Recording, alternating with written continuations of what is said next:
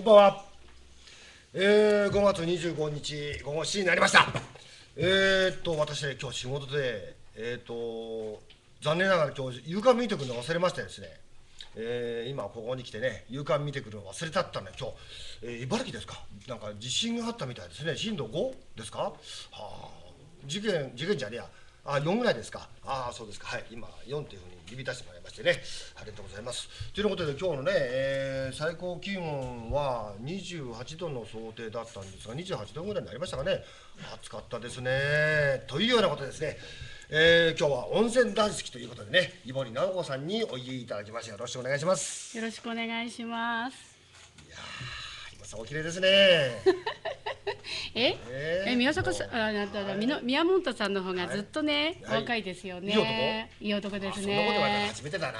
初めてでしたいえいえ今日は祝福あげちゃいたいな。はいということでじゃあ今日これから終わったら、えー、お酒を飲みに行ってきますんでよろしくお願いします。よろしくお願いし何のます。話をしてるんですか？はいはい今ね生放送ですので、はい。はいということでね、井森さん、あの温泉大好きということなんですけども、はい。昔から大好きだったんですか？あ、えーとですね、実はね、宮さん、はい。ちょっとその前によろしいですか？うん。私ここ座ってるのが、あの他にもっとね、温泉大好きな方がいらっしゃるんじゃないかと思って、先日あるところで、あのちょっとあちらの方から宮本さんらしい人が歩いてくるなと思ったら、いきなりスカウトされまして、ぜひぜひぜひ松代にも住んでいいない私をスカウトしてくださって、この場違いなところに座らせてもらってるっていう次第なんですけれども。そういう裏話をしてますから。本当は嘘ですよ。はい。ということでね。はいえーはい。えー、ということでね。松代の温泉が好きなんだけども、はい。なんでこう温泉がそんなに好きなんですか。ああはいはい。あのー昨年一昨年とずいぶん雪がたくさん降りましたよね、ええええあの冬場ね、えで、えー、と私まあ高校卒業したばかりなんですけれども。ずうずうしい ですか？ずうずうしいですか？いえいえい80年ぐらいえ前じゃないの？ということで、はい。ええあの雪かきをですね一日中していたいましたら、まあ年がいもなく、あのそれなりにやっぱりあの痛めているんですねどちらかをね。腰とか足とか。はい。それでご多分に漏れずちっとも治らなくなっちゃいまして、まあそれで、えっ、とまあ温泉効くんじゃないかなと思って行ったところが、あのたまたまこちらお出ししていいですか、はい。あはい。えっと、これなんですけれども、はいたまたまあの行きましたところこれ松代荘さんで買い求めたものなんですけれども、えっと、信州物見湯さんの手形というので、えっと、こちらにあの置いてありましてたまたま入ったところ、えっと、泥風呂だった松代荘さんなんですけれども泥風呂私ね え何何？これ？と思ったんですが、まあ、あのお話には聞いていたんですけれども失礼いたしますね、支配人さんもね初めて見た時は泥風呂泥風呂だって思いましたっておっしゃってました、うん実はねはい、はい。そしてこちらの温泉いくつか、えっとこの手形では無料でこのクーポン券を買うと入れるんですけれども一度入ったらもうちょっとね本当に虜になっちゃいました松代荘さん、ええっとこちらですね。松代荘って結構成分いい成分があるみたいじゃないですか。そのようですね。ねえ。はい。でここで私ちょっとお勉強したのを、うん、勉強してきた。はい。ちょっとあのいいですか？お時間大丈夫ですかね？ありますかね？まはい。えっとですね、はい。松代荘さんは国民宿舎さんですね。はいはい。あの水上山をあの作ったかつてね、マグマが冷える時にできたマグマ水に由来すると言われています。ほう。その昔日蓮上人さんが島流しの時に訳されたと言われて、川中島合戦の時にはうん。武田信玄の隠し湯としてうん。兵士の傷と疲れを癒したとされる名刀ですね。で、えっと、泉質の方なんかをお話ししてよろしいんでしょうか？はい、はい。よろしいですかね？はいあと先ほどお話ししたように初めて見た時って、え何この泥って思っちゃったんですよ。うんうんうん。そうですね。ところがはいそうですね、鉄分が酸素に触れるので、えっとこれは岩鉄がかなりの鉄分が多く含まれているナトリウムカルシウムの塩化物泉ですね。はい。なので、えっと注ぎ口までは無色透明なんですけれども、えっと黄褐色で、あになります。まあ、茶あのえっと茶褐色っていう形もしますかね。ってこと。か。酸化するっていうことですね。はい。そして中東製の、えー中性の高温泉という形で、えっと表記されていました。はい、湧き出ているお湯の量なんか喋ってもよろしいですか、はいはい。毎分740リットルです。はい、多いね。多いですよね。で、温泉の温度は源泉は46度4分ということで。暑いんだ。暑いです。はいはい普通入る温度よりちょっと高めですね高めですね。はい。ですけれども入ってみると若干ねその肌触りがいいせいか、暑いという感じは全くいたしませんでしたね。はい。で効能です。効能は、はいえっと5つ。うんえーとはいこちらはね県の温泉協会認定のうんうん。資格を持つ、あの支配人さんから伺ったんですけど、ええ。温泉療養指導士さんという資格をお持ちの方なんですが、まずは一つ目ね血圧を下げる効果がある二酸化炭素、うん。はい。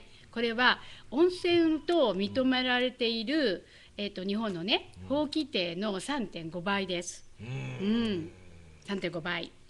はい。はいえっと量はいいですね。ミリグラムはね、はい。お肌。ははい。お肌をすべすべさせる効果は、炭酸水素ナトリウムというものなんですが、すべすべなんだな。すべすべですよ。はい。8.5倍も含まれているんですよ。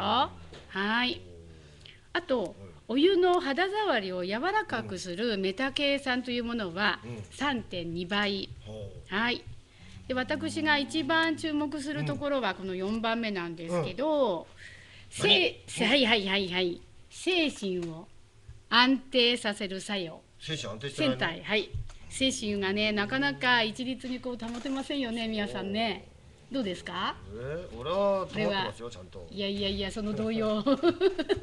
ですよね、はい。こちらはリチウムイオンというものなんですがなんとなんと5.5倍です。はいそしてさらに一番ね、えっと資料の方にもいただいた資料に、あどっちどこかに行ってしまったんですけれども、あった、えっとヨウ素イオンというものです。あまり聞いたことがないと思うんですね、ヨウ素イオン、はい、こちらは、えーとね、手術後のリハビリだったりとか運動機能障害だったりとか高血圧にき期待できるということで殺菌や、うん。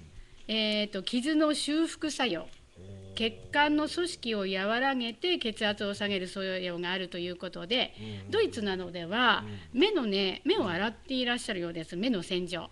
まあ、あのお顔を洗うとあの温泉でお顔を洗っていただくと自然にこう目なんかもこううん洗えるんですけれどもということでにも用いているということです。じゃあやっぱはい。り病み上がりの人なんかが来るとい病み上がりのということでした。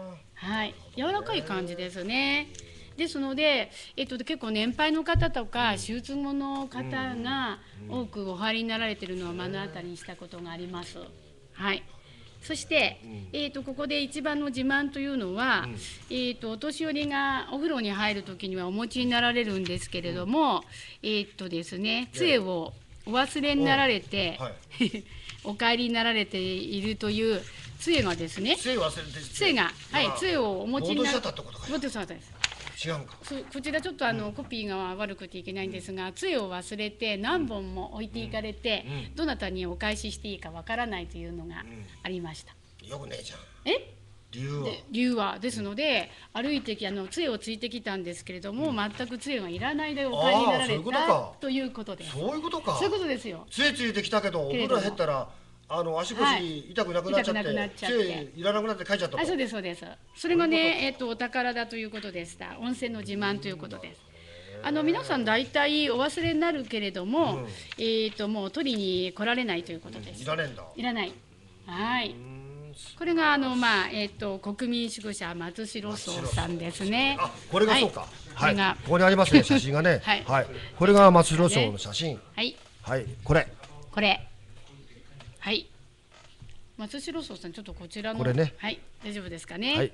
これが入り口ですか？入り口です。はい。でこれそしてが中。はい。えっ、とお泊まりもできますね。うん。ちょっとまだはい私泊まったことがないんですが、ぜひはい。お泊まりの時にも、はい。とてもいい美味しいお料理が出るということです。ははい。い。でこれは？こちらもそうですね。はい。です。こちらがパンフレットでした。はい。でこちらは、はい。えっ、次は？とはい。松えっ、代のとごご飯なんかは喋っちゃいけないんですね。はい、い。いですか、松代荘さんのね、えー、とお料理もねとってもね美味しいんですけど一泊はしたことないんですけれども、こちらのねやっぱり長芋が有名ですよね松代荘さんね。ね。はい。ですねで松代荘さんは、えっ、とね長芋のコロッケ長芋のコロッケです。私初めて食べました。じゃがいもとか里芋とかかぼちゃは食べたことあったんですけど、えっとあの長芋のコロッケがとても美味しくって、あとデザートもスイーツも長芋で作ってあります、それが出ましたね。これがおすすめです。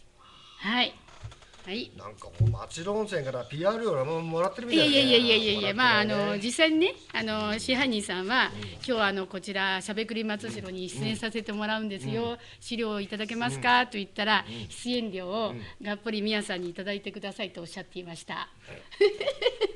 私がもらえますよ。いやいやいやいやいやいや。あ後で請求書もまたまた請求書をあので。すね、支配人さんにお願いいたします。はいわかりました。はい。ということでもう一件。はい。そうですね。牧場の湯。はい、それじゃあ、ま、巻き場の湯はこちらにあるんですかね。はい。で。すかね。はい。すいません、じゃあそうですね。巻き場の湯は、えっ、とですね、一度しか本当は行ったことないんですけども。一度しか一度しかないんですけれども、こちらに出演するということで、あの昨日行ってきました。はい。あのちょっとお百姓も、あのしないで行ってきました。えっとね、一日、えっと、平成14年にオープンされたということで、一日平均300人はお入りになられているそうです。多い日は1000人を超すということですね。すごいです。はい、露天風呂がおすすめのようですね。あはい、あそこいいよね。露天は。私も行ったことありますか？はい。え、本当に？ありますか？一望できるんですよあのね、はい。ホワイトリングからずホワイトリングが見えました。見えました。高台にあるじゃないですか。はい、高台でした。はい。はい。それだけですか、宮さんの情報は。ええそれいや私は取材に行ったんじゃねえんで。おお風呂に入りに行きました？お酒飲んで帰ってきたんで。はいはいはい。ええ。あそこお酒も美味しいですか？ですかね。はい。あまりそれしか記憶ないですね。ないで えっとですね、こちらお泊まりはできないですよね。あできませんねできませんね。はい。では私のちょっとあの2回しか行ったことないんですけど申し訳ないんですが、はい、すいません。あの正面玄関にはね2体の大黒様がお出迎えしています。あありましたか？はい。そして毎週火曜日に男女のお風呂が入れ替わりますね。すね火曜日週替わりですって。はい。であの露店が今み皆さんもご紹介いただいてるんですけれども、えっと切り石の方の石組みのものと、それから反対側はい、えっと木造りのものと、はいこんな感じですね。で女性の方がとってもね、すごい眺めが良かったです。はい。これイーブルさんですか？はい、いえいえ、私もっと若いですし、すみません、なんて、すみませんね。はい、で、泉質なんですけれども。す。みません。あ。私負けてますよ。ですか、泉質の前に、これね、日本の三大美人の湯っていうところよりも勝る成分だっていうことで先にお話ししちゃいますね。日本三大美人の湯って宮さんご存知ですちか？くねえじゃないですかあのお酒飲んでるだけじゃダメですね皆さんね。はい、えっとですね群馬県和歌山県島根県とあの日本三大美人の湯というのがあります。でえっとお時間の方大丈夫でしょうかね皆さん。いいですか、大丈夫ですかね？はい、こちらの牧場の湯は、一応ね、こちらの三大よりもさらに後で開発されたところだったので、3倍から10倍も高いんですね。ナトリウムイオンが 1051mg パーキロ。カルシウムイオンは1889ミリグラムパーキロで、特に、えー、と炭酸水素ナトリウムがべらぼうに高くって1073ミリグラムパーキロです。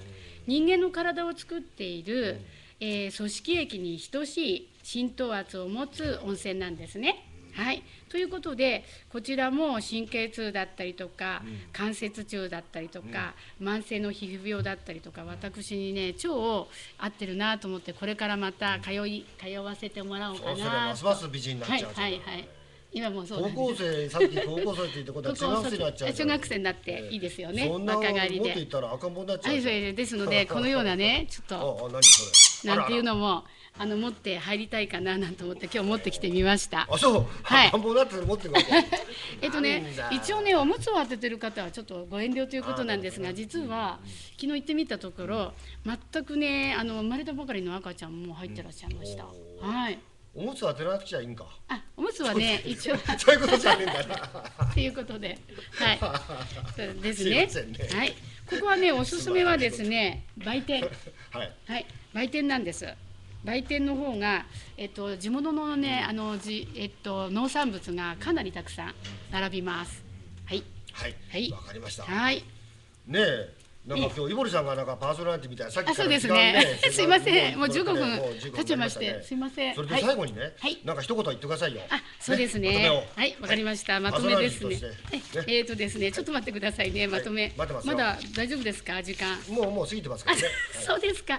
えっ、と私あのあの住まいは篠ノ井なんですね。だけれども松代がとっても気に入っていましてちょこちょこはい足を運ばせていただいています。はいあの松代テレビ局のこれからのご発展をお祈り申いやいやし上げてそんなこと言ってもらっちゃって申し訳ないありがとうございます。失礼いたします。時間足りなくてはいありがとうございますどうもありがとうございました。失礼させていただあそこでいて。終わりいいですか？あわかりました。よろしいですか？はいわかりました。隣短くなっちゃいました。あわかりました。はいいや最後にねまあテレビのこと言っていただきましてありがとうございます。あ、どうもありがとうございます。はいどうもありがとうございましたお世話になりました。はい。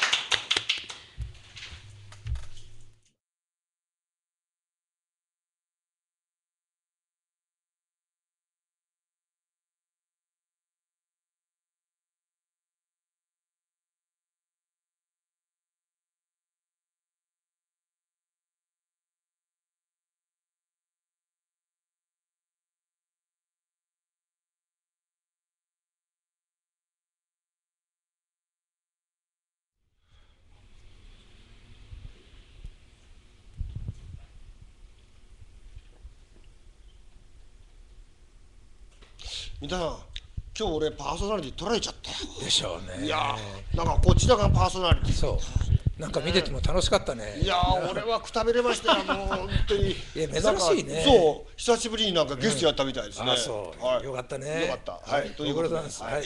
えーですね、はいえーこれ真田邸でですね、箱膳大会っていうのえーっとねこの30日はい。行います。はい。はい、1800円ですね、予約でやりますけれども商工会議所予約入れていただくっていう形で、うんはい、毎回ね満室っていうか、ね、えー予約でいっぱいっていうことでございます。素晴らしいね。はい、それからですね、はい。えー夢空間がやっておりますね、6月6日、はいこれはね、今回、清滝ですね、あの東上の自然と、えーええ。景観を楽しむ散策会ということで、清滝へ行こうかなっていうことでね、こ今回初めてですけどね、えいつ？6月？ー6月6日、あえ全然話違うけどね、あのヘビ気をつけてあそこにマムシいっぱいあ蛇もいるしね、え熊もいます。えでも大丈夫です。はい。